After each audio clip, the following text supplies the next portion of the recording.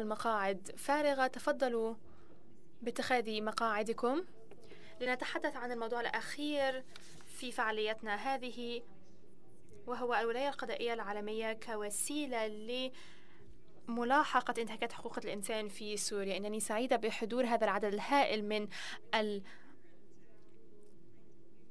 الجماهير وسنستمع الآن إلى أربعة متحدثين. أنا بنت الشلر وأنا مسؤولة عن قسم الشرق الأوسط في مؤسسة هاينريش بيل وأنا أعيش في بيروت وسوف أدير هذا الحوار مع خبراء ينظرون إلى هذا الموضوع من مناظير مختلفة. أعذرونا لعدم إمكاننا لتلقي أسئلتكم. للأسف الوقت يداهمنا ونود أن نستمع إلى أربعة أشخاص في هذه الجلسة ولذلك للأسف لن نفتح المجال للنقاش هذه المرة. ولكنني متأكدة أنكم يمكن أن تجروا محادثات شخصية بعد انتهاء الفعالية. يسعدني أن أرى مرة أخرى السيد مازن درويش بعد سنوات هو آه، محامي من سوريا. ليس محامي فقط بل هو رئيس للمركز السوري لإعلام وحرية التعبير. وقد اعتقل بسبب هذه الوظيفة في 2012 وأطلق سراحه في 2015 لقد اعتقل مع زملائه بعضهم قد أفرج عنهم قبله. لقد مكثت عقوبة طويلة في السجن إذا تمكنا من التحدث عن عقوبة وقد حصلت على عدة جوائز مثل جائزة الشجاعة وجائزة حرية التعبير التي تقدمها منظمة اليونسكو. أشكرك على حضورك معنا ل تشاطرنا المنظور السوري. لقد سمعنا طبعا من متحدثين سوريين قبلك ولكن نود أن نستمع منك لماذا يمكن أو آه، لماذا تعد إمكانية ملاحقة انتهاكات حقوق الإنسان في سوريا عن طريق مبدأ الولاية القضائية العالمية؟ مهم؟ شكرا جزيلا. شكرا لكم جميعا على حضوركم وعلى مكوثكم حتى نهاية الفعالية. أنا سعيد جدا في ألمانيا منذ أن قدمت إلى هذا البلد. أعيش حياة آمنة. ويمكنني أن أتحدث بلغتي الأم اليوم وهذا أمر رائع. إذا سوف أتحدث الآن باللغة العربية.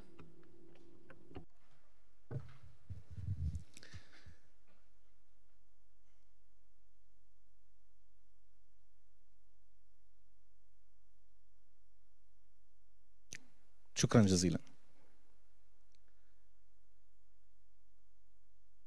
الكل أظن اليوم أخذ جرعة كافية. بمعنى من المعاني عن ما يحدث داخل السجون السورية. وإجمالا ما ما بظن أبدا أنه عاد المسألة في سوريا مسألة أدلة أو معلومات. من غير المقبول أبدا اليوم أن يتحدث أحد عن حقيقة ما يجري في سوريا أو الزعم أو الادعاءات. أصبح هناك كمية مذهلة من المعلومات والشهادات والتقارير سواء من لجان تحقيق دولية أو منظمات دولية مشهود لها بالمهنية والاستقلال. وأيضا هناك يعني حتى نقل مباشر لكوارث ومجازر تحدث سواء استخدام المواد الكيميائية الكيماوية استخدام البراميل المتفجرة التعذيب والقتل داخل السجون والمعتقلات إلى آخره إلى آخره. كلاجئ بألمانيا أو بأي دولة أوروبية. اليوم ما راح أحكي عن عن عن الدعوة بالمعنى التقني أو القانوني في أساتذتي اللي أنا عادة بتعلم منهم وأكيد باتريك اللي اشتغل مطورا على القضية ممكن يكون أفضل. مني بدي أحكي عن عن عن مازن المواطن السوري العادي. في دعوة تقام بألمانيا ضد جرائم الحرب اللي ارتكبت هناك. أنا واحد من الناس اليوم صار عندي مناعة أكبر تجاه التطرف. هذه الدعوة اليوم أنقذتني من أني تحول لشخص عنيف ومتطرف وربما إرهابي. إحساسي بالظلم تعرضي للتعذيب والإساءة إنكار المجتمع الدولي لقيمه ومبادئه اللي تربيت عليها واللي كنت أعتقد أنها حقيقية.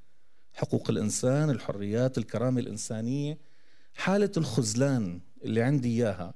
رغم إحساسي بالأمان أنا ببلد آمن وبيقدم لي المأوى وبيقدم لي السكن ومتطلباتي الحياة اليومية. لكن تجربتي بالتعذيب خلال سنوات طويلة. إخوتي أهلي أحبائي اللي فقدتهم بالقصف وبالأسلحة الكيماوية وبأبشع أنواع المجازر هل ممكن أنساها لمجرد إني أنا آمن؟ أو إنه أنا عندي طعام وسكن؟ ما بظن. مستحيل. بحاجة لهذه الدعوة لضل عم آمن إنه في إمكانية للعدالة. في إمكانية لاستمرارية القيم اللي بدأت أكفر فيها اللي بدأت أعتبر إنها مجرد بروباغندا. من دون العدالة من دون شعوري أن هناك أمل وأن هناك من يهتم لمعاناتي. أنا جاهز أن يكون واحد من الذئاب المنفردة اللي تتبع منهج داعش أو نصرة أو أي حدا من هذا التطرف. إذا كنا معنيين بمكافحة الإرهاب علينا أن نبدي التزام حقيقي تجاه العدالة والمحاسبة في سوريا وفي هذه البلدان. لا يولد الإنسان متطرف أو إرهابي يحمل جينات التطرف. استبداد ديكتاتوريه القهر الظلم. الإحساس بعدم جدوى العدالة بيصنع منه إرهابي. أنا مازن اللاجئ أنا وعائلتي بحاجة لهذه الدعوة بحاجة لهذه المحاكمة لحتى فكر بالرجوع لسوريا.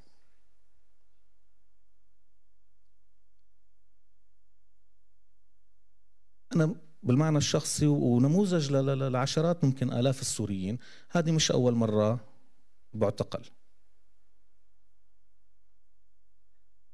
وعندي سجل عائلي والدي معتقل ووالدتي معتقلة. زوجتي كمان أخذتها معي على المعتقل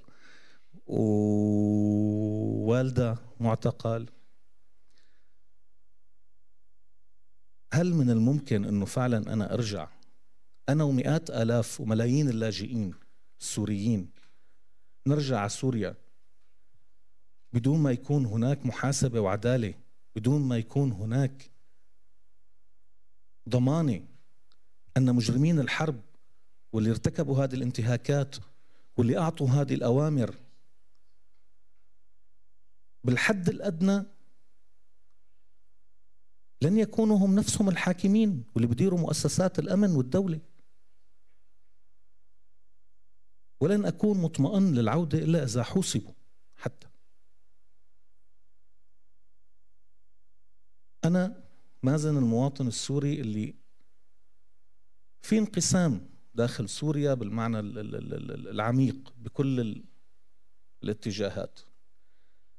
هل ممكن حدا يقنعني إنه مجرد أمراء حرب سواء السلطة أو الآخرين إذا جلسوا على طاولة مفاوضات دولية وتقاسموا المصالح والامتيازات بيناتهم يعني أن شيئا لم يكن؟ يعني أن المجتمع السوري بأمان بدون محاسبة وبدون عدالة نحن سنكون نجهز المسرح لحرب أهلية في سوريا. ستستمر لعقود وستفني ما تبقى من المجتمع السوري ومن نسيجه ومن إمكانية استمراريته. بدون عدالة يعني هناك انتقام. العدالة ليست من أجل الانتقام. قلت سابقا من من من فترة أشهر عندما حركنا الدعوة في باريس دعوة بيت الدباغ أنا كمازن عندما أحصل على حقي سأتنازل عنه في سبيل المصالحة الوطنية. وكتبت من سجني وقلت أتمنى أشعر بالأسى تجاه السجانين اللي قاموا بتعذيبي وأتمنى لأطفالهم حياة كريمة وحرة ومستقبل آمن يتقاسمونه مع أطفالي. وأنا أعني هذا الكلام. لكن من غير الممكن أن نتخيل بعد كل ما حدث أنه ممكن أن يكون هناك إمكانية لتحقيق سلام أو حل مجتمعي في سوريا بدون محاسبة ومسار متكامل للعدالة الانتقالية. يضمن حقوق الضحايا ويضمن إمكانية الحياة مرة أخرى في سوريا. لهذا السبب أيضا هذه الدعوة مهمة بالنسبة لي. هذه الدعوة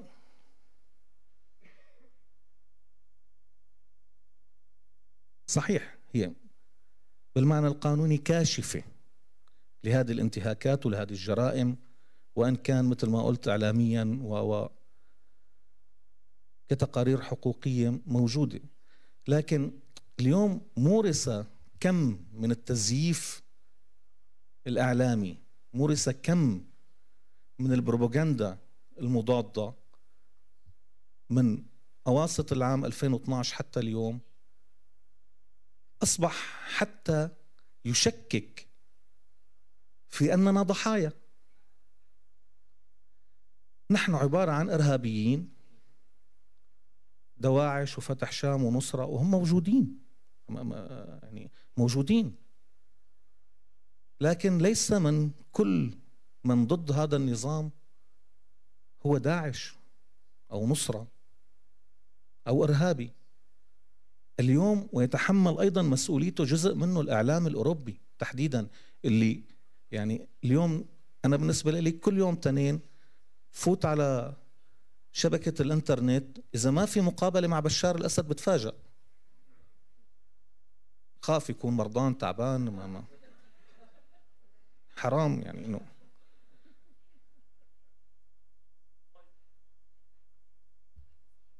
نحن تحولنا أشخاص أصحاب مشروع وطني وديمقراطي أصحاب مشروع إنساني نطمح للكرامة للعدالة نطمح للحياة وفق ما تعلمنا منكم.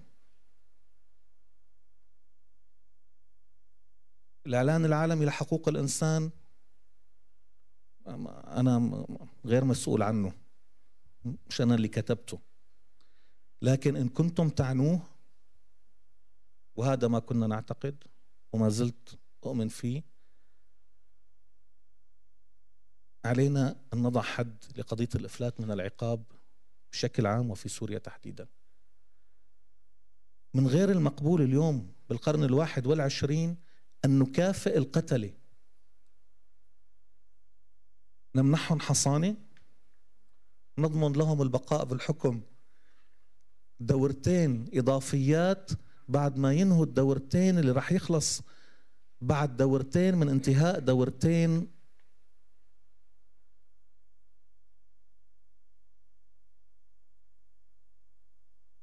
وكأنه فعلا قدرنا كسوريين أنه نعيش تحت الاستبداد. وكأنه قدرنا أن نبقى أزلة لسلطات ونظام.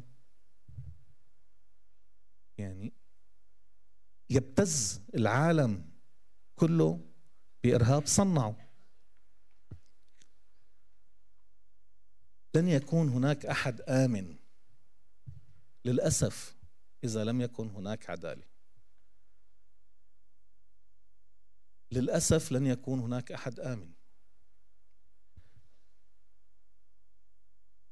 منذ البارحة منذ الإعلان عن الدعوة البارحة إلى اليوم صدقا مئات الاتصالات عبر وسائل التواصل الاجتماعي والهاتف و و فرحة أنا منذ خروجي من السجن من سنة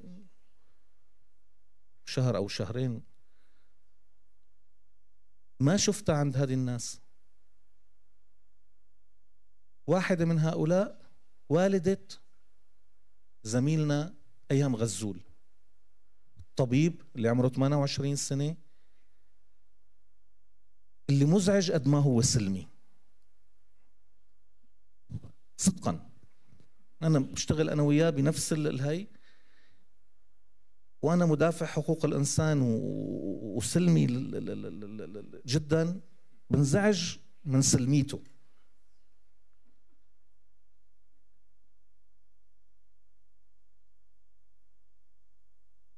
أيام اعتقل معنا. نشوف في مجموعة من زملائي كمان اللي اعتقلوا معنا. كنا محظوظين ما زلنا على قيد الحياة لكن أيهم مات تحت التعذيب. بالفرع 215 اللي هو أحد الأفرع اللي نحن مستهدفين بهذه الدعوة. والدته لأيهم تحلم بقبر.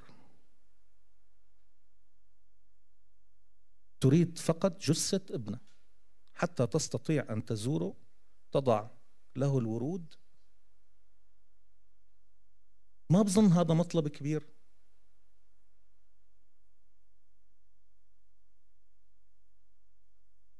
اتصلت اليوم. لا هي عرفت شو تحكي ولا أنا عرفت شو رد. نحن ناس كائنات بشرية. اليوم سعيده لأنه في أمل بالعدالة. هذا الأمل يجب أن يبنى عليه يجب أن يستمر يجب أن نرسل رسالة واضحة للسوريين ولغيرهم أن الديمقراطية لا تزال مبدأ نتمسك فيه أن حقوق الإنسان ليست بروباغندا هي إنسانيتنا. اللي بيميزنا عن الحيوانات هو العدالة. إذا أنكرنا العدالة نحن ننكر إنسانيتنا.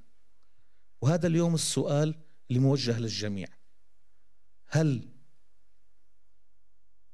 نحن بشر أم ندعي ذلك؟ والامتحان في سوريا شكرا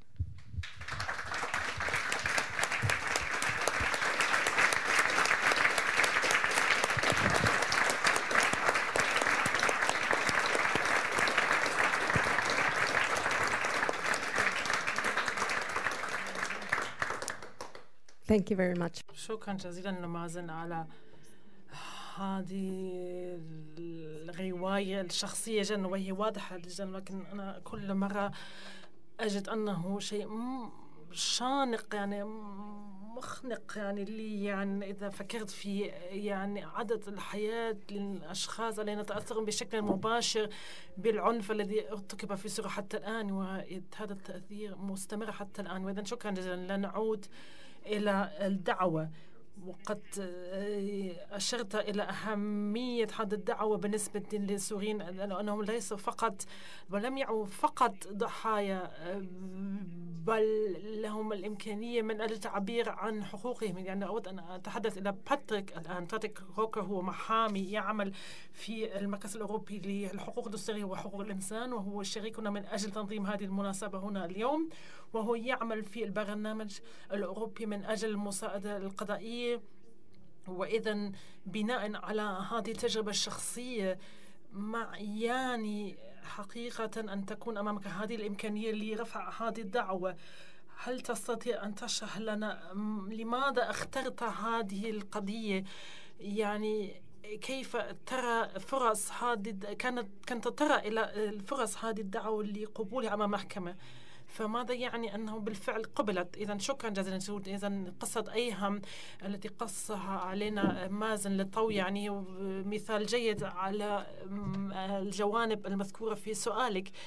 يعني لماذا أدخلنا هذه القضية بالذات؟ وماذا يعني بالنسبة لنا أن أيهم أخ أيهم جزء في هذه القضية وطرف فإذا هو يطالب بحقوقه نيابة عن أخيه الذي اختفى في أحد السجون يعني الذي التي نوجهها في هذه الدعوة. وإذا هذه منذ الانطلاقة عندما فكرنا في آه، طريقة مواجهة الدعوة بالتفصيل منذ ما يزيد عن سنة يعني مع مازن وأنور والآخرين كثيرين من المنظمات السورية والتقينا معهم والكثير منهم هنا معنا اليوم وهذا بالفعل شيء رائع ومدهش.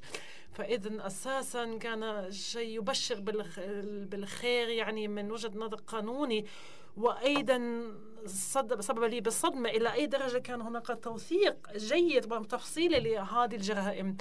إذا منظمة مثل هيومن رايتس ووتش يعني في عام 2012 حتى يعني أصدروا قرار ذلك. ومنذ ذلك الحين مواقع السجون يعني ووجود هذه السجون كانت معروفة. وإذا بالفعل كان لدينا حد الحجم الكبير من التوثيق وليس فقط من المنظمات الدولية لحقوق الإنسان بل أيضا المنظمات غير الحكومية السورية خاصة التي تقوم بهذا النوع من التوثيق بمجازفة حياتهم في الكثير من الأحيان و...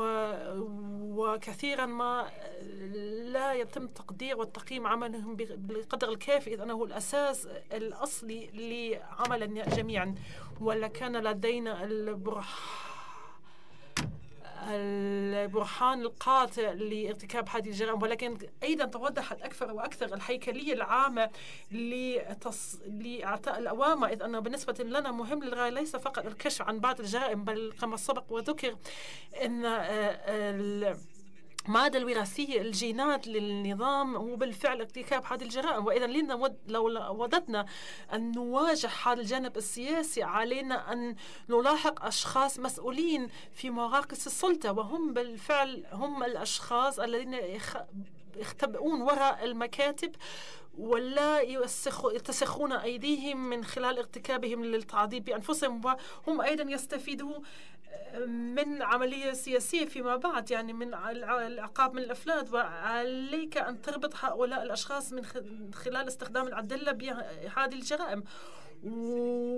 وبشكل سخري جدا يتم الكشف عن هذا النوع من الجرائم وهذه رابطات يعني من شهاداتهم أنفسهم يعني كيفية التعامل مع الأشخاص. لا تعلم إذا كنتم ملمين بصور القيصر يعني مثلا هناك بطاقات مرفوعة أمام الكاميرا يعني تعطيكم أرقام الفروع حيث تم اعتقال الناس وأرقام السجناء. يعني مثلا شاهدنا تقارير عن أوامر للنقل يعني حيث يتم نسخ تقريبا يعني كل المنظومة الأمنية في داخل التقرير وحيث يريدون تأمين أنفسهم في من جميع النواحي لغاية أعلى مستوى للمنظومة الأمنية. وإذا هذا كان موثقا بشكل جيد جدا. وفي نفس الوقت آه، عندما نتحدث عن محاميين سوريين ونشطاء كثيرين يعني كان هناك عدد كبير من الإحباط في ورش العمل الأولى التي انطلقت منذ عام ونصف تقريبا وحضرت بعد شيء للمشهد الدولي للقانون الدولي قالوا لنا نحن نعلم جميع ذلك وفهمنا مبادئ القانون الدولي أساسا منذ البداية ولكن منذ أن بدأ بالتعامل بهذا الشكل قيل لنا يعني لدينا حقوق الإنسان لدينا آه، يعني القانون الدولي وإذا أرجو أن توثق الجرائم إن يوم العدالة قد آت لا محالة إذا توضح تماما أن علينا أن ندفع بشيء ملموس جدا يعني. وأيضا بسبب ما استمعنا إليه في الجلسة السابقة أن هناك أشخاص حقيقيين هم معنا هنا بيننا وعاشوا ذلك ويطالبون بحقهم في العدالة وهم على حق بذلك. وإذا تعاوننا معهم ومنذ ذلك الحين تبين واضحا الاتجاه المنشود المانع كما سبق والذكر وذكر يعني آه، يعني النائب العام هو كان أيضا الجهة المناسبة إذ أن هناك إمكانية لرفع دعاوي حتى للأشخاص آه، من أصحاب الدعوة الذين لا يتمنع بالجنسية المزدوجة ولدينا نائب عام اتحادي يلتزم وينخرط في الدعوات يعني لكن ليس على المستوى الذي ننوي إليه إذ أنهم يسمون ذلك بالتحقيقات الهيكلية. وهذا أساسي جدا من أجل جمع الأدلة والبيانات من أجل تجهيزها للاستخدام المستقبلي.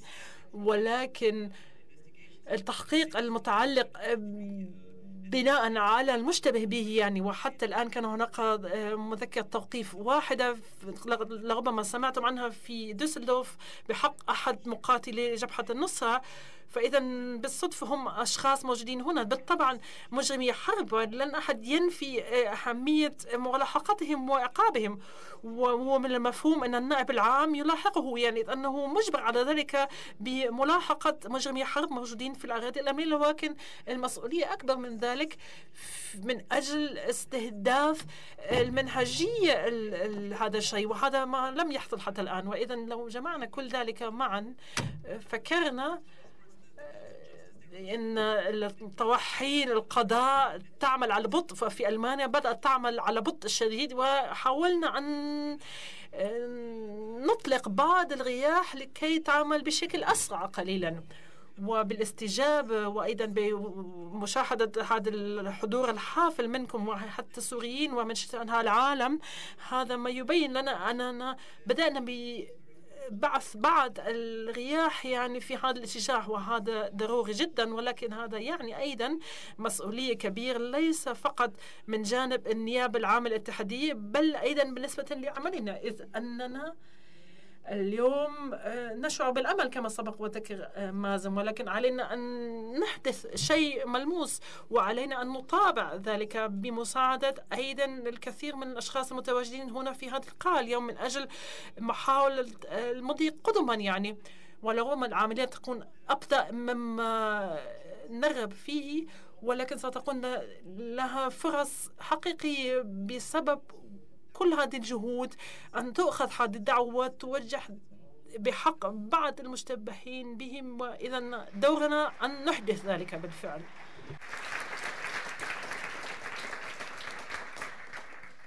Thank you very much, Patrick. شكرا جزيلا باتريك بعد أن انتقلنا بنا إلى ما حدث وراء كواليس هذا النظام واللمحة الأوسع والنظر الأوسع يعني الآن ننتقل إلى من المسؤول يعني جيمس رودهاف معنا هنا من اللجنة الدولية المستقلة للتحقيق في سوريا. انضميت إلى هذه اللجنة في عام 2014 وسابقا كنت تتعامل مع قضايا صعبة أخرى مثلا كنائب مدير آه، مهمة مساندة لأفغانستان.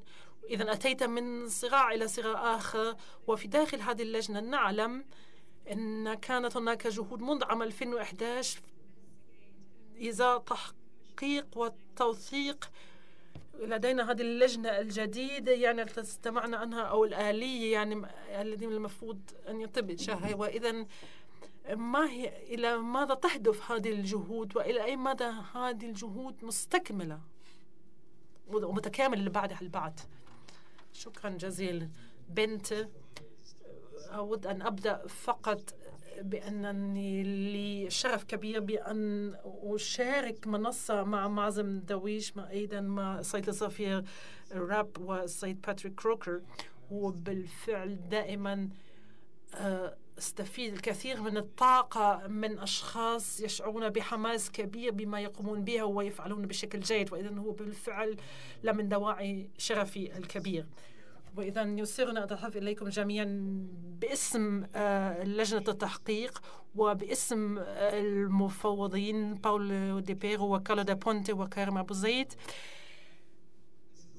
وهذا بالفعل لحظة مناسبة من أجل مناقشة ما قمنا به من أعمال إذ أنني أعتقد أن الآن ما محبط إلى حد كبير أنه بالوقت نفسه حيث يتم آه، هناك إجراء عملية مفاوضات ولربما هناك بعض الإمكانية لإحراز بعض التقدم إلى المساءلة يجب أن تكون أساسا جزء من هذه العملية ويجب أن تدفع بها. إن اللجنة للتو أصدرت تقريرا في الأمس حيث حاولنا أن نركز على هذه النقطة بالذات أن نركز ونسلط الضوء على ما حصل في حلب حيث حلب كانت نقطة الصفر بالنسبة لأن كانت مثالا على فظائع هذا الحرب. والأمال المروعة التي ارتكبت خلال هذا الحرب. وبالفعل سوريا هي نقطة أو الصفر بالنسبة للحجوم الكبير أو التهديد الكبير الذي نعيشه حاليا كمنظمات حقوق الإنسان والحقوق الإنساني الدولي. الصراع السوري للأسف الشديد حيث لا طرف في الصراع يلتزم حتى أدنى معايير آه، القانون الإنساني الدولي أو قوانين الحرب. وأيضا شراسة ومستوى العنف يبدو وكأنه يتصاعد آه، كلما زاد ترسيخ مبدأ الإفلات من العقاب. لذا أعتقد أنه العدالة مسألة أساسية من أجل المد قدما من أجل السلام في سوريا. فيما يخص لجنة التحقيق مسألة المساءلة آه، قدمنا بها وطرحناها منذ زمن بعيد بسبب ولايتنا منذ عام 2011 التي كانت ولاية مزدوجة للتحقيق والتوثيق. لانتهاكات حقوق الإنسان كل انتهاكات حقوق الإنسان في الصراع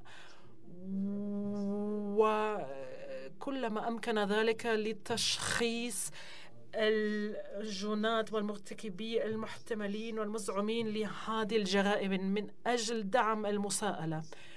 ومن خلال هذا الجزء الأخير للعملية طلب منا أن نبحث عن أشخاص وأفراد ارتكب جرائم في حق الإنسانية وأيضا طلب منا أن نحقق في جرائم حرب وارتكاب مجازر. وحتى الآن أجرينا تحقيقات أدت إلى مقابلات مع ما يزيد عن ستين ألف ضحية في الصراع السوري. وهذه المقابلات هي نقطة أساسية من أجل المستقبل والمضي قدما ومتابعة ولايتنا فيما يخص الدفاع عن الحقوق وأيضا آه، محاولة الدفاع عن مبدأ المساءلة. عدا آه، نشر آه، نتائج التحقيق علنيا وإذا قاعدة البيانات هذه هي اللب الأساسي لما قد يستخدمه النائب العام في المستقبل أي نائب عام. طبعا بناء على براهين مبنية على الجرائم يعني وأيضا كرسم خارطة للصراع. فإذا كجزء من التزاماتنا هذه المعلومات كل ما أمكن ذلك وكل ما استطعنا أن نوفي بمعايير القانونية للبراحين حيث نستطيع أن نشخص آه، صاحب أوامر أو مجموعة أو وحدة كانت متورطة بشكل مباشر في ارتكاب انتهاك منذ سنوات آه، حضرنا قوائم سرية للجنات. وقائمة الجنات في نهاية المطاف يجب أن نقول يمكن أن تفيدنا فقط كقائمة أسماء. يعني حيث نقول أنه هذه الأسماء يجب أن تبدون بها لو أطلقتم تحقيقات ولكن من أجل تطوير منهجية استراتيجية سواء كان بالتعامل مع الانتحاكات نفسها أو في بناء قضايا ضد أفراد لدينا فقط المعلومات المخزونة في قاعدة البيانات والمقابلات الموجودة لدينا. حاولنا أن نلتزم بأفضل المعايير وأفضل تجارب للجان تحقيق أممية فيما يخص القرار بالنسبة لمشاركة هذه الأسماء المجمعة لدينا. ومنذ سنتين تقريبا المفوضين أو أعضاء اللجنة قرروا بعدم الإفصاح عن هذه الأسماء لعدد من الأسباب. أحد الأسباب كانت أنه في الماضي كل التجارب الأخرى للجان التي أفصحت بأسماء هؤلاء يعني هم اللجنتين فقط قاموا بذلك. بسبب وجود أصلا تحويل أو ضمان تحويل هذه الأسماء بعد مشاركتهم سوى مع آه، الأمين العام أو مجلس الأمن. على سبيل المثال لجنة التحقيق بالنسبة لدارفور ولجنة التحقيق بالنسبة لغينيا وفي لكن في هذه الحال ليست لدينا مثل هذا التحويل موجود. ولكن هناك فكرة بأننا نستطيع أن نشاطر هذه الأسماء كوسيلة لفرض تصويت آخر على هذا التحويل ولكن كان واضحا جدا أن لن يكون لهذا القرار هذا التأثير المرجو. وإذا منذ سنتين تقريبا كما سبق اتخذ القرار بأننا لن نقوم بإفصاح عن هذه الأسماء ولكن سنفصح ونكشف عن المعلومات والمقابلات يعني من أجل الدفع إلى الأمام لتطبيق الولاية العالمية. ومنذ سنتين إذا عملنا وفقا لمبدأ السياسة الإفصاح المستهدف. حيث نستلم طلبات خاصة تفصيلية سواء من هيئات قضائية أو أي سلطة أخرى التي تلتزم بتحقيق شخص معين أو حادثة معينة وبناء على إذا كان هذا الطلب مفصل وملموس وإذا كان آتيا من قضاء يحترم آه، الحقوق العادلة للنزاحة والإجراءات القانونية وإذا كانت لدينا المعلومات المناسبة لطلبها. وأخيرا وهذا الأمر الحاسم بالفعل إذا كان لدينا موافقة مصدر المعلومة بمشاطرة هذه المعلومة. سنشاطر هذه المعلومة مع هذه السلطة القضائية أو النيابة. وفي هذا الوقت حصلنا على مطالب عديدة. والأعضاء اللجنة لا يريدون أن يشاتوا الأرقام. وإذا إذا التزمنا إزاء هذه الجحاد بأننا لن نفصح عن هذه الأرقام ولكن حصلنا على عدد كبير من المطالب من عدد من الدول الأعداء سوى أن تمارس آه، ولايتهم القضائية الوطنية أو بناء على مبدأ الولاية العالمية. ففي أغلب الحالات استطعنا أن نشاطر حجم كبير من المعلومات. في أغلب الحالات بسبب رغبة الأشخاص الذين قمنا بالمقابلة معهم الضحايا أو الشهود كان علينا أن نخفض من حجم المعلومات قد تؤدي إلى تشخيص أنفسهم أو أهاليهم. فإذا هذا عملية تتطلب الكثير من الوقت والجهد ولكن بالنسبة لنا كانت مشجعة جدا أن نرى أن الأقل في ثلاث مثل هذه الهالات حيث قمنا بمشاطرة هذه المعلومات. كانت هناك ملاحقة قضائية وحتى الآن على الأقل هذه الدعاوي الثلاثة كانت ناجحة. وبالطبع بالطبع يعني لا نشعر بأن هذه السياسة لا تؤدي شرط إلى آه، منحاج استراتيجي. إذ أننا آه، طالما الولايات القضائية الوطنية تمشي بما موجود لديهم أو من موجود لديهم يعني لديهم حدود معينة. وإذا نحاول أن نجد دائما ونحاول إيجاد طرق لمشاركة معلوماتنا كل ما استطعنا ذلك. أدرك. أن هذه المناقشة كان من المفترض أن تركز على الفجوات والثغرات في المساءلة والولاية القضائية العالمية وطبعا هناك ثغرات كبيرة. انظر للأمور كالآتي. سوريا مثال لأسوأ نزاع وأكثره انتشارا منذ الحرب العالمية الثانية. ووقوع الضحايا يتم على نطاق لم نشهده منذ فترة طويلة. وبالرغم من ذلك فعدد العاملين في الأمم المتحدة والمهتمين بحقوق الإنسان الذين يعملون على الملف السوري لا يتعدى ال 35 شخصا. لقد ذكرت أنني لقد ذكرت أنني عملت في أفغانستان في أفغانستان مثلها مثل الكونغو أو بؤر النزاع الأخرى هناك أكثر من 100 شخص يعملون لتوثيق انتهاكات حقوق الإنسان ويقومون بتقديم تقارير علنا حول هذه الانتهاكات. وهناك طواقم عمل أخرى تساعد العاملين في مجال القضاء يساعدون القضاة والمحامين ليتخذوا الخطوات التي ستؤدي إلى المساءلة. إذا لجنة التحقيق تقوم بكل ما في وسعها على خلفية الموارد المتاحة لديها.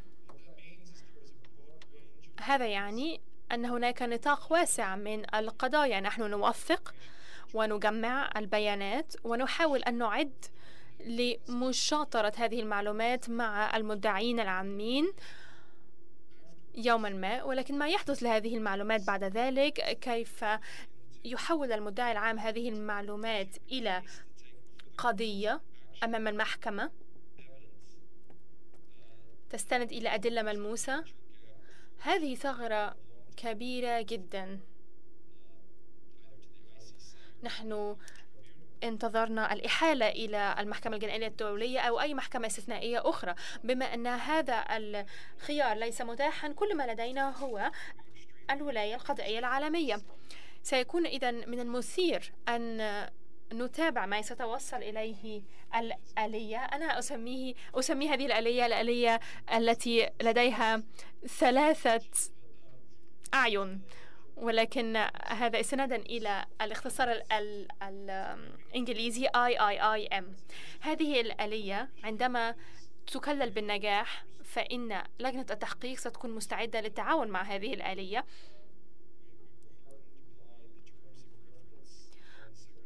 لقد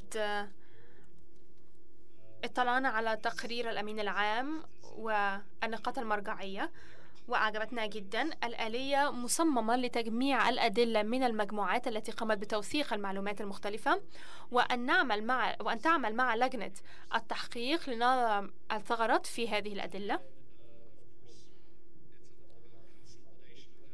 ثم أن نوحد هذه الأدلة ونحفظ هذه الأدلة ونحلل هذه الأدلة حتى يتم على أساسها إعداد القضايا والدعاوى لترفع لأي ولاية قضائية يمكنها أن تهتم بهذه المواضيع. هذا النهج نهج مبتكر ونهج جديد ونأمل أن يكون بمثابة مساهمة قيمة.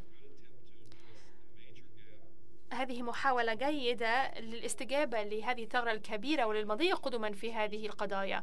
وما هو أهم من كل ذلك من وجهة نظرنا هو أن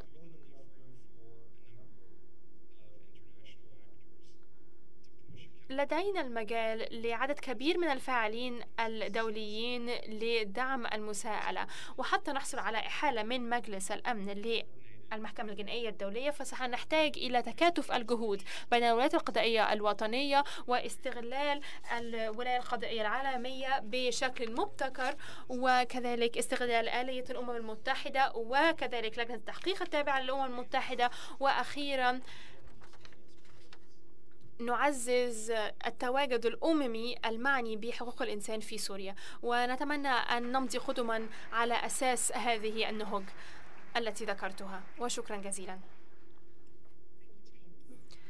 شكرا جيمس على تقديم المعلومات حول لجنة التحقيق وما هي الخطوات اللاحقة. ليتسم عملها بالفعالية. أتوجه الآن إلى سعادة السفير راب. أنت الآن تعمل لدى معهد لاهاي للعدالة الدولية. انضممت إلينا إذا من لاهاي. وكنت آه، معنيا بالجرائم الدولية.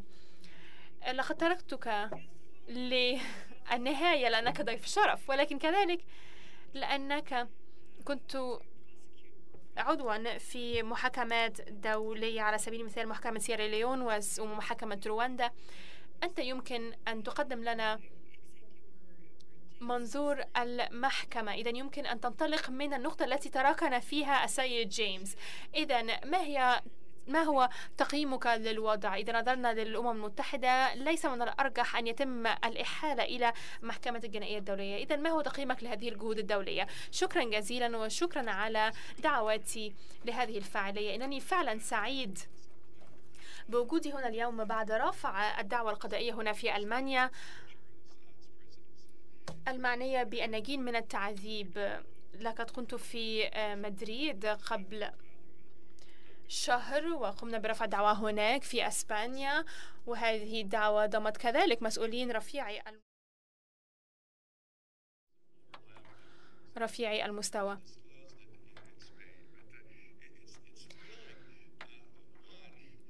هذا أمر مثير لأنها جرائم ارتكبت على يد النظام. نحن نتحدث على 90% من الجرائم التي ارتكبت على يد النظام وها نحن بعد مرور ستة أعوام على الثورة. نتذكر كيف بدأت.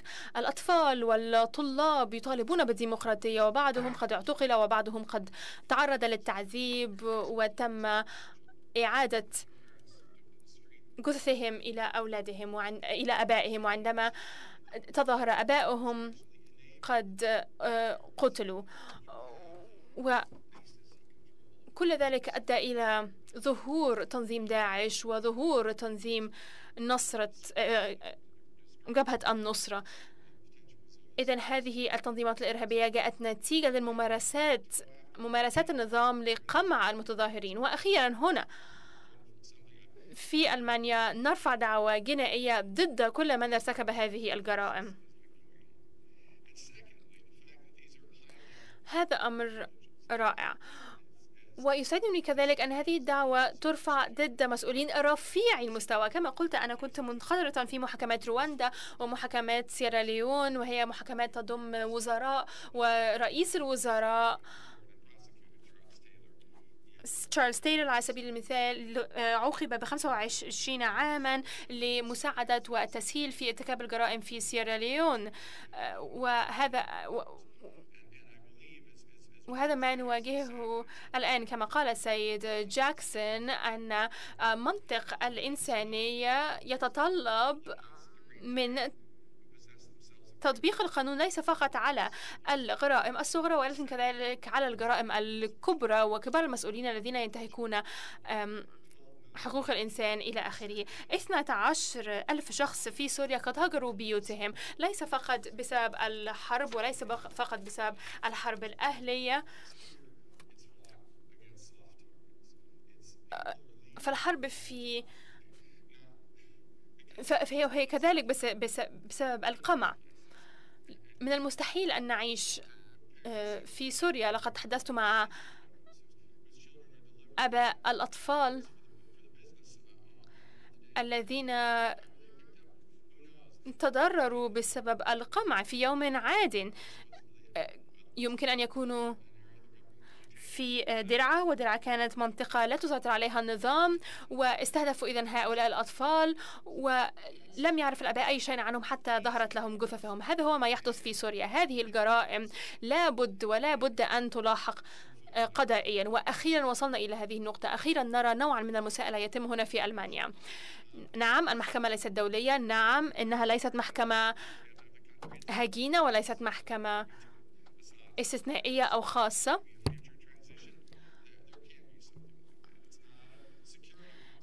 إنها ليست محكمة نتيجة لإحالة من مجلس الأمن مثل ما هو الوضع في يوغوسلافيا. المجلس الأمن لم يقوم بأي شيء حيال سوريا. حتى عندما تم إنشاء الآلية فلم يعتمد مجلس الأمن القرار الذي ندد باستخدام الأسلحة الكيميائية في سوريا. من ستصدق إذا أعينك أم ستصدق المجلس العام؟ إنما مثلا لجنة التحقيق وعملها الرائع الحيادي الموثق. مجلس الأمن لم يتمكن من اعتماد هذا القرار بسبب دولتين. إذا لن يتم الإحالة إلى المحكمة الجنائية الدولية في المستقبل القريب. ما الذي يمكن أن نفعله؟ ما الذي نحتاجه لإنجاح هذه القضايا ولإنجاح قضايا مماثلة. في المحاكم لدول ثالثة بما في ذلك دول مثل ألمانيا. ألمانيا فتحت ذراعيها لأي دولة لأي لاجئين من سوريا و ألمانيا. متضررة كذلك مما يحدث ولذلك لديها الحق في أن تفتح محاكمها. ما نحتاجه إذن؟ أولا المدعي العام يحتاج إلى الأدلة. تعرفون أن هناك أدلة كبيرة؟ إنني أتحدث هنا عن الصور التي تقدم أشخاصا قد تعرضوا للتعذيب. نحتاج ل السلسلة الكاملة من الأدلة والربط بين حلقات السلسلة. من قام بهذا التعذيب؟ من أصدر الأوامر؟ ماذا حدث بالضبط؟ كل هذه الأمور في غاية الأهمية. نحتاج إلى دعم لعمليات التوثيق من قبل منظمات غير حكومية مثل اي أنا رئيس هذه المنظمة. فقد جمعوا سبعة سبعمائة صفحة من وثائق النظام واستخدموا هذه الوثائق قضائيا. لدينا كذلك الأدلة التي تم مصادرتها. وضبطها. عفوا الوثائق التي وثائق القيصر. ولكن هذه الأدلة صعبة المنال. لم يستخدم النازيون على سبيل المثال هذه الأدلة. وبفضل القيصر أنني أتواصل معه بشكل مستمر. وبسبب كرم دولة ما فهو الآن في أمان وقدم تقريرا يضم خمسين صفحة سوف يقدم أمام محكمة وهذه مهمة جدا كل الدلائل التي يقدمها قيصر في غاية الأهمية. إذا هناك أفراد تم تحديد 700 منهم. ونعرف أن متى توفوا وأين توفوا. وهم توفوا في مؤسسة الدولة في الجمهورية العربية السورية. هذا أمر لا شك فيه. هذه قضية واضحة وضوح الشمس. هناك مسؤولون آخرون مسؤولون عن قضايا أخرى طبعا تمثل تحديا ولذلك نحتاج إلى عمليات التوثيق وجهود التوثيق التي يجب أن تكون أساسا للأدلة. الآلية التي تحدثنا عليها طبعا هي هو نهج مبتكر جدا وأرحب بكل من أنشأ هذه الآلية. لدينا لجنة تحقيق لدينا ستة ألاف آه، مقابلة وكل العمل الذي يقومون به الذي تم إصداره في تقرير حلب. الآلية يمكن أن تتعاون مع لجنة التحقيق للوصول إلى الشهود. ويمكن إليه كذلك أن تحصل على الوثائق وأن تتحقق منها وأن ترى ما إذا كان هناك تزييف وأن ترى ما إذا كان هناك فيديوهات. يمكن أن تتعامل مع منظمات مختلفة تهتم بالناجين وبعض الناجين ممثلون هنا. يمكنهم كذلك أن ينظروا في الانتهاكات والهجمات التي يمكن أن نزيفها. إذا يمكن أن ينظروا فيما إذا كانت مزيفة أم لا. ويمكنهم كذلك أن يعملوا مع السلطات الوطنية وأن يجمعوا القضايا التي يمكن أن تستخدم في دول مختلفة. هذه هي النقطة الثانية. المحاكم التي تتمتع بالولاية القضائية بموجب القانون. أين هي؟ كيف تمارس القانون؟ هناك أسئلة متعلقة بالسياسات التي تظهر على الساحة.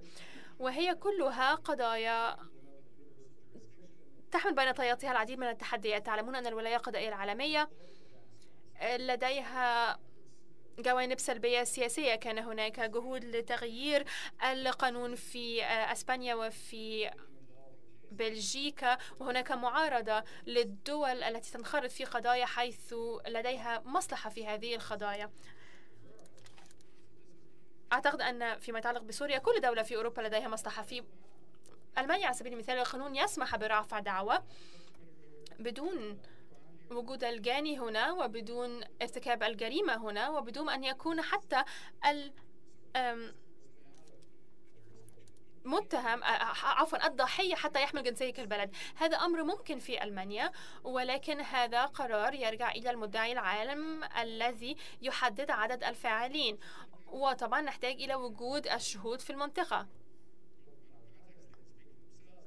لا أود أن أقتبس المدعي العام ولكن أعتقد أن المدعي العام يرحب يرحب بهذه الممارسات فالشهود يتقدمون بأدلة.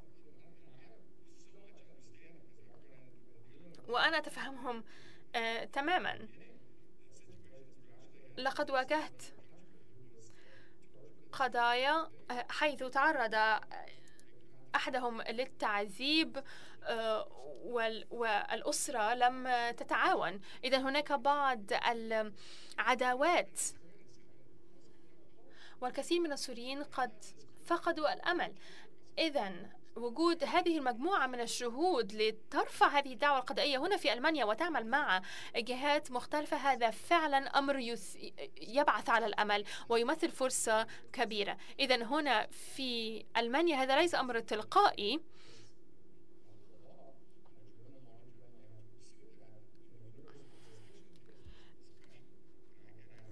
ف الولاية القضائية العالمية تمنح هذا المجال التقديري. هناك دول أخرى مثل السويد والنرويج كذلك يسمح للولاية القضائية العالمية السويد قد ساهمت في عدد من القضايا ولكن على مستوى أدنى. وحتى الآن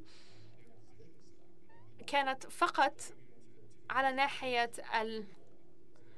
معارضة. أتمنى أن يستغلوا إلى قانون جديد يعود إلى بداية النزاع السوري وهناك ما يكفي من الجرائم التي ارتكبت منذ أن سن هذا القانون. في أسبانيا الموضوع يختلف. أسبانيا قد غيرت قانونها تحت ضغط.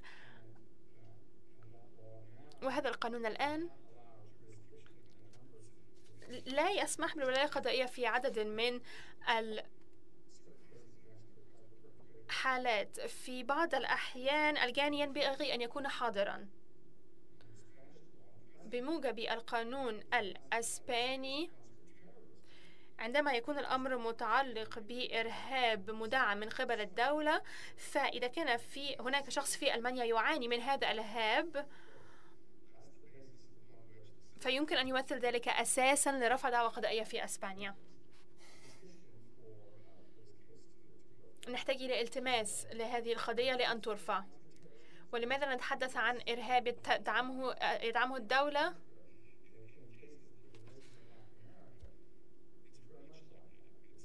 هذا هو الحال في أمريكا اللاتينية. الدولة هي التي تقرر آه، ترهيب السكان وهذا ما يحدث كذلك في سوريا.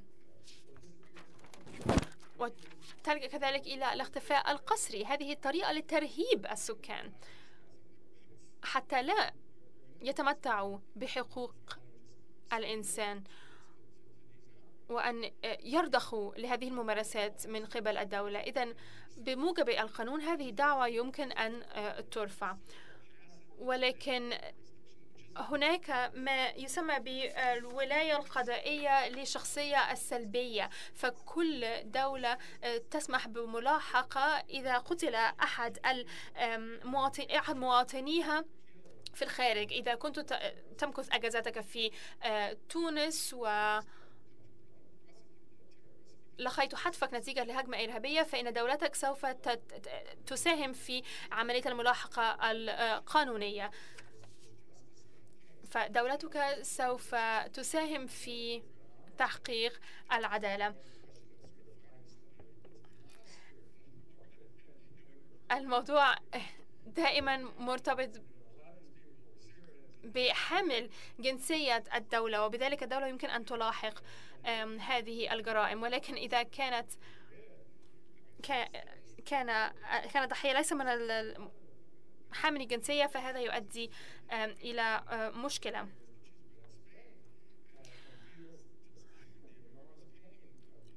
هناك الكثير ممن يعيشون في أسبانيا. قد عانوا من الاختفاء القسري وفي في حالة الاختفاء القسري الأسرة هي التي تعاني الأكثر. عندما لا تعرف الأسرة ما حدث لذويهم بالنسبة للضحايا في السجون الأمر محدد أكثر بالنسبة للأسرة فهذا هول يعيشونه كل يوم. إذا فهم ضحايا كذلك الأسرة ضحية كذلك إن هذا يعطينا إذا مسارا في المحاكم ينبغي أن نستغل هذه الطرق. وأخيرا أشير إلى أن المدعين العامين الأوروبيين ما يودونه هو الجناة الذين موجودون في في الدولة. ولقد ساهمت في إنشاء شبكة الإبادة الجماعية أوروبية التي تضم أربعة مراقبين كندا والنرويج وسويسرا والولايات المتحدة. نحن نجتمع كل عام ونحن جزء من يورو جاست و نتشاطر المعلومات في كل اجتماع. ميزانيتنا محدودة جدا ولكن نتشاطر المعلومات. لم يتم إلى أهمية إلى إلى هذه الشبكة ولكن ما يحدث الآن هو أمر إيجابي جدا. يوروبول البوليس الأوروبي يحصل على ولاية قضائية للفظائع في أوروبا. وأوروبا تضم 26 دولة. يتم التنسيق بين الدول لمشاطرة المعلومات. و في معظم الأحيان يكون الأمر متعلق بطالب لجوء أو شخص موجود في دول أوروبية منخرط في قضية ما. المهم في هذا السياق وآمل من هذه الآلية أن تحققه هو أن نرفع هذه اللعبة عدة درجات إلى الأعلى.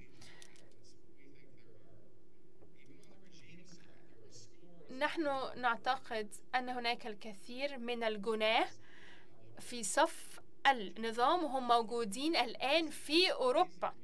طبعا من الصعب جدا أن نجدهم ولكن موجودين في أوروبا.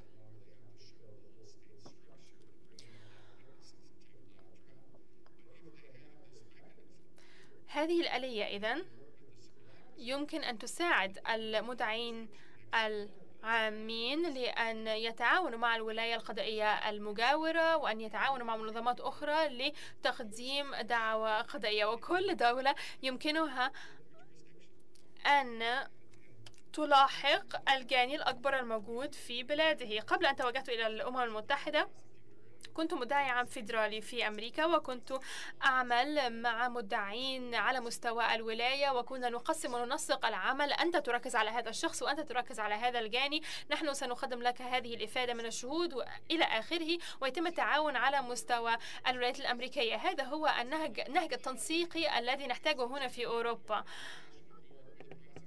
طبعا هو ليس بنفس فعالية آه، وجود محكمة دولية تحدد من هو الجاني وتحدد من هو المتهم وتقوم على أساس الفصل السابع من ميثاق الأمم المتحدة. ولكن هذا ليس ليس متاحا لدينا الآن. سنبدأ في ذلك ولكن هذا ليس متاحا لدينا الآن. أعتقد أن أعمال الناجين وعمل المحامين والمنظمات المختلفة مثل المركز الأوروبي للحقوق الدستورية وحقوق الإنسان رائع وأن نجمع كل ذلك بالأدلة التي يصعب تجميعها واستنادا إلى هذه الآلية يمكننا أن نفتح صفحة جديدة وأن نلاحق هذه الجرائم في سوريا. Impunity. I mean, it is. Uh... أعتقد هذا أصعب جانب في كل ذلك. يعني يعني قضية وسأقضي يعني وأقوم بالعمل بالنسبة لسوريا على أساس تطوعي. وقلت للناس أنا سأفعل ذلك لغاية ما أموت يعني. ولذ أن كل ما قمنا به منذ محاكم نورنبرغ من أجل محاكمة أشخاص على ارتكاب جرائم حرب يعني من أجل حماية المدنيين يمزق يعني من قبل ما يحدث ويدمر من قبل ما يحدث حاليا في سوريا يعني يعني مارتن لوثر كينغ كان هناك اقتباس جيد لمارتن لوثر كينغ يعني وهناك الكثير من الاقتباسات. إذا آه، ظلم يعني في أي مكان في العالم تهديد للعدالة في آه، كل العالم. فإذا استطاعت أن تعذب الأطفال وتفلت مع ذلك يعني. يتخيل فقط النزاعات للعقود المستقبلية ليس فقط سوريا على صعيد آه، المدى البعيد أننا محددين جميعا وعلينا نفعل كل ما في وسعنا من أجل تعزيز القانون ولكن نفعل ذلك أرجوكم من أجل 12 مليون شخص الذين يعانون يعني والآلاف المئات الآلاف الذين ماتوا والذي شردوا من منازلهم بسبب هذا النزاع. ولكن اليوم بالفعل احتفالية حتى ولو ما زلنا نتعدى على من ماتوا منذ بداية هذا النزاع ولكن أتمنى أننا بالفعل نستطيع أن نفتح ونقلب الصفحة ونحقق العدالة. وإذا نستطيع أن نحقق ذلك. ودعونا نحقق ذلك. شكرا.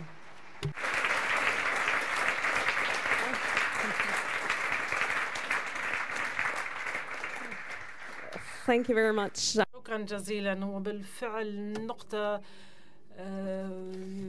كاتمة جدا يعني تحقيق العدالة ولكن هذا بالفعل ما نواجهه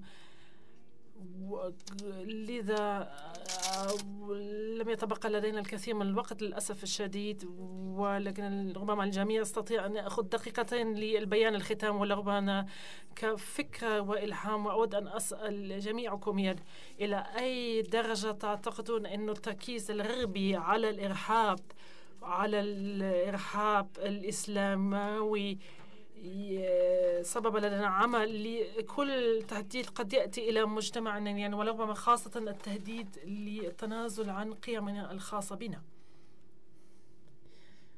شكرا جزيلا.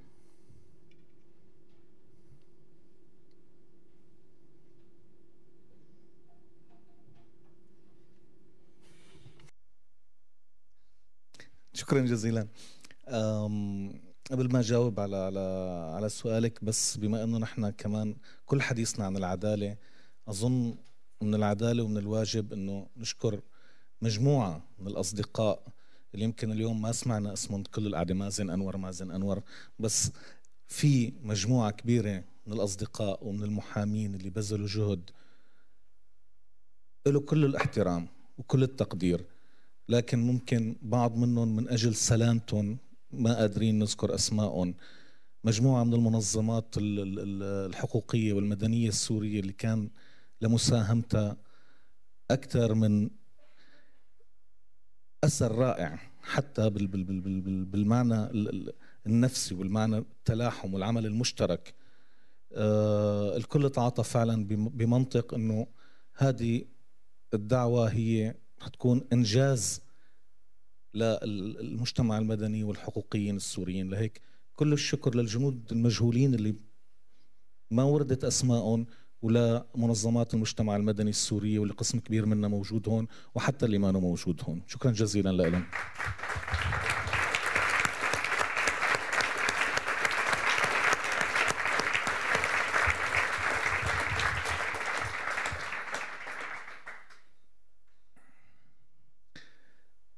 نقطة إضافية أنا كان فاتتني.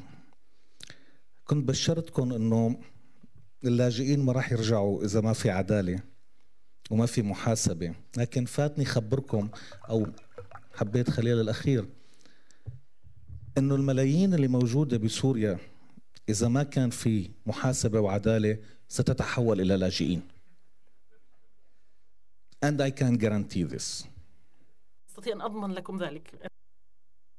التركيز على اللاجئ داعش والنصرة.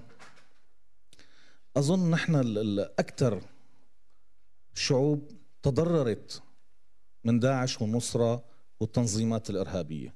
طبعا أي إنسان ما في فرق أبدا. أيا يكن الضحية نحن معه أيا يكن الجاني نحن ضده بغض النظر عن أي تصنيف آخر. لكن أكثر شعوب تأذت من إرهاب داعش والنصرة هي السوريين والعراقيين. نحن أصحاب المصلحة الحقيقية بالقضاء على الإرهاب والتطرف. مقابل كل ضحية غير سوري هذه التنظيمات الإرهابية تقتل مئات وربما آلاف السوريين نشعر دائما بالسعادة وصدقا كلما سمعنا أنه تمت محاكمة واحد من هؤلاء. ونعتقد أن أطفالنا أصبحوا أكثر أمانا. لكن أن يتحول مفهوم العدالة لمفهوم أمني بوليسي لحماية المجتمعات الأوروبية فقط هنا نشعر باللا عدل أن يتحول مفهوم العدالة فقط ككرت سياسي للتوظيف ضمن لعبة مصالح واسعة أو على طاولات المفاوضات هنا نشعر بأن ليست هذه هي العدالة. العدالة واحدة من أهم الأسباب لمكافحة الإرهاب والتطرف اللي نحن أكبر ضحايا. شكرا.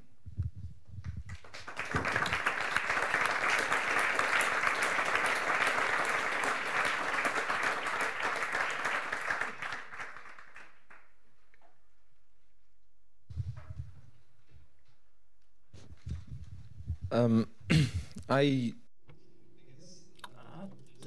أتوقع أن تكون لدي فكرتين أساسيتين حول السؤال؟ هل هناك زائد على الإرهاب أو على الإرهاب الإسلاموي أو التطرف العنيف؟ يعني يعني يعني تقدير هذا بناء على الجانب السياسي التي تقف عليه فيه.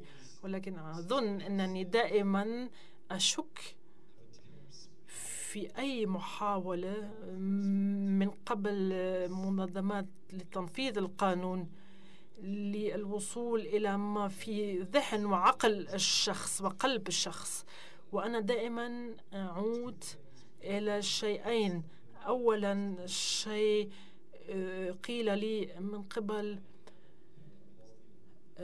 شخص من البوسنة منذ سنوات عديدة قال لي إن الفضاء من غير المساءلة هو السم يخلق الإرهاب والإرهابيين والشيء الآخر الذي أعود إليه دائما هو اقتباس لمن مستعدين لتضحية حقوق من أجل التوصل إلى العدالة لا يستحقون أحدهما. إذا في نهاية المطاف أفضل منهاج من أجل آه، مواجهة الإرهاب الدولي هو احترام القوانين والحقوق. ولو حاولت آه، إزالة فتيل الإرهاب وإزالة فتيل الصراع. يجب أن تبدأ بحماية المدنيين الحماية الأساسية وحتى لو لم يكونوا في عين المكان هم موضوع نقاش حتى مع الطالبان هم موضوع نقاش ولكن مع ذلك في سوريا لا أحد حتى يتحدث عن ذلك. وهذا بالنسبة لي أمر مضحج ولا يبرر ولا يمكن أن يفسر.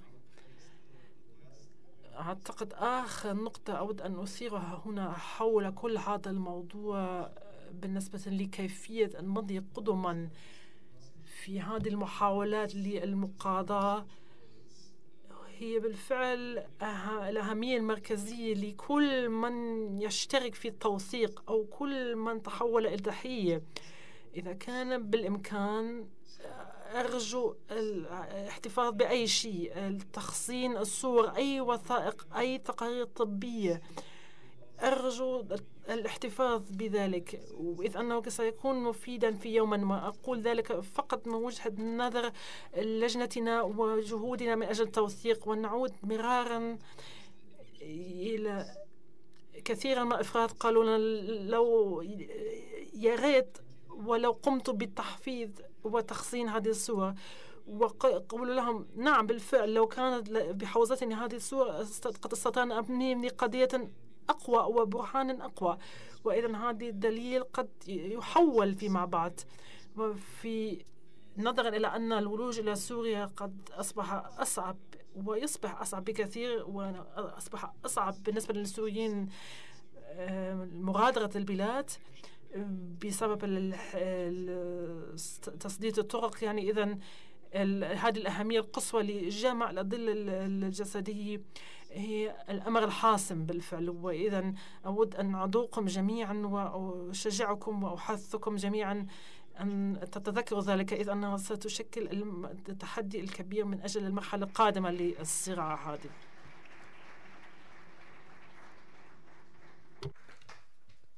Um, yeah, really quickly. بعجالة شديدة بالفعل ولأسباب واضحة من الخطر جدا أن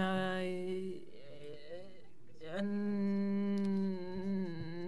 نتمسك فقط بمبدأ الإرهاب وأيضا كما سبق وذكر جيمس وأتفق على ذلك أننا علينا أن نقف الأشخاص للمساءلة بسبب ما ارتكبوا من جرائم وهم يرتكبوا أكبر الجرائم المعروفة وفقا للقانون وياسمينة آه، تعبر عن موافقتها. وبعجالة شديدة أيضا نستمر منذ الرد يعني وستيفن أيضا قد أعطت لنا بلمحة عن المشهد العام للإمكانيات وهذا شيء مشجع جدا. ومرة أخرى آه هذا ما سيحصل لو الولاية العالمية لا تنفع في هذه الحالات. أين تستطيع أن تفع تنفع؟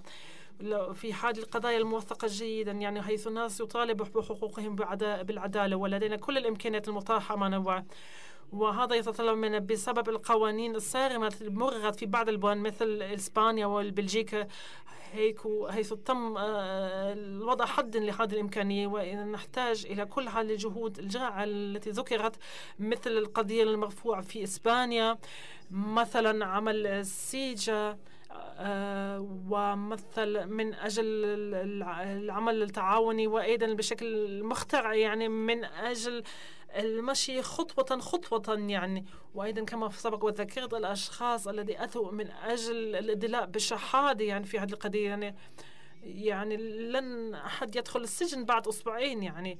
ونحن حاولنا كل ما في وسعنا أن نبدأ بالعمل يعني وأن نضع جزء صغير فقط من الفصيفساء هذه. وإذا بدأنا فقط بقطعة واحدة لا نستطيع أن نعدكم بأكثر من ذلك إننا نحاول أن نضع هذا الجزء لهذه الفصيفاء الكبيرة ولكن جزء واحد فقط ولكن نفعل كل ما بوسعنا أن نضيف أجزاء أخرى. إذا هذه الأمسية كانت بالنسبة لي آه، مشجعة من أجل آه، مواصلة ذلك شكرا جزيلا. يعني بحاول أن لن أطيل عليكم. يعني هناك مذكرة تثقيف أو آلية مذكرة تخفيف تسمح ب آه، يعني تبادل آه، بسيط نسبيا أو سهل نسبيا بين بلدان في الاتحاد الأوروبي. يعني لو كانت هناك آه، قضية تخص أشخاص قد أشخاص معروفين يعني فإذا يمكن حالتهم من يعني منشآت ما قبل التحقيق. يعني قد يعني قد تتمثل في بعض الأخرى في اليونان أو في بلغاريا يعني لربما هناك إمكان أو هناك إمكانية متاحة للحصول على مذكر توقيف حتى ولو كانت هذه البلاد هذه الدولة لم تع المزاج ليست لديها إمكانية للقيام بذلك. وإذا كان نائب عام دولي من الجيد أن تستطيع أن ترفع دعوة على أشخاص وتحاول إيقافهم. يعني كما في بعض الأحيان نحتاج إلى فقط إلى النائب يحاول إذا من المهم للغاية عندما نبني قضايا الولاية العالمية أن ننظر في أماكن حيث نستطيع أن نوقفهم يعني وندعوهم ونحيلهم للعدالة وأن نغي الآخرين. إن هناك مذكرة توقيف أنهم يواجهون مثل هذه العواقب يعني. ومن يرتكب هذه الجرائم قد يواجهون هذه هذه النتائج. وبالنسبة للسؤال علينا أن نتذكر أن الوضع مختلفا قليلا بما في سوريا يعني بالنسبة لدينا في العراق في المنطقة الكردية. آه، هناك إمكانية لوجود آه، إجراءات قضائية يعني أشخاص يأتون آه، آلاف الأشخاص اعتقل كسجناء أسرى حرب يعني والتعامل مع مع يعني هناك في هناك موضوع القتل في كوجي يعني قوائم تسمي الأسماء بالأفراد بالآلاف يعني. وإذا يعني علينا أن ليس فقط أن نحث من أجل القضية السهلة يعني لربما النائب يجب أن يجب أن يعترض على القضية السهلة ولكن لكن يعني هؤلاء القضايا السهلة يعني لو استطعت أن تصدر حكما متحكم على هذا الشخص هذه يعني أنا أنا كنت أقوم بهذا الدور يعني من أجل أن أحاول يعني يجب علينا أن نحاول أن نلاحق من أجل الاغتصاب وتجارة المخدرات واستبع استع... استعباد الأشخاص يعني الرق وإلى آخره. وإذا هذا يمكن أيضا آه، تستخدموه من أجل الرسائل الدينية. وإذا علينا أن نستفيد من هذه الأدلة يعني من أجل محاولة ملاحقة هؤلاء على هذه القضايا. هذا ليس من السهل طبعا يحتاج إلى أدلة إلى شهود. ولكن في نهاية المطاف أعتقد أنه سيفتح عن الطبيعة الحقيقية لهذه المنظمة وقائديها فإذا هذا بالفعل في نهاية المطاف هي القضايا التي أريد أن ترفع ضد النظام ولكن ليس هناك آه، إمكانية إلا أن تحاول أن أن نطور يعني ولاية عالمية لاستخدامها في العراق وكردستان من أجل البت في آه، محاكمة هؤلاء. إذا العدالة أفضل شيء لحل كل هذه المشاكل. وأنا سعيد برؤية هذا العدد الكبير من أو الحجم الكبير من الدعم هنا في ألمانيا لذلك. شكرا جزيلا. Ambassador Rapp, Patrick Kroker, James شكرا للجميع جيمس رودهاف مازن درويش ستيفن راب باتريك كروكر أنتم بالفعل مجموعة رائعة يعني واستمتعت بالجلوس معكم وأعتقد أن الجميع استفادوا كثيرا واذا أرى أن الجميع حضروا حتى الآن ولو قررتم المبادره الآن.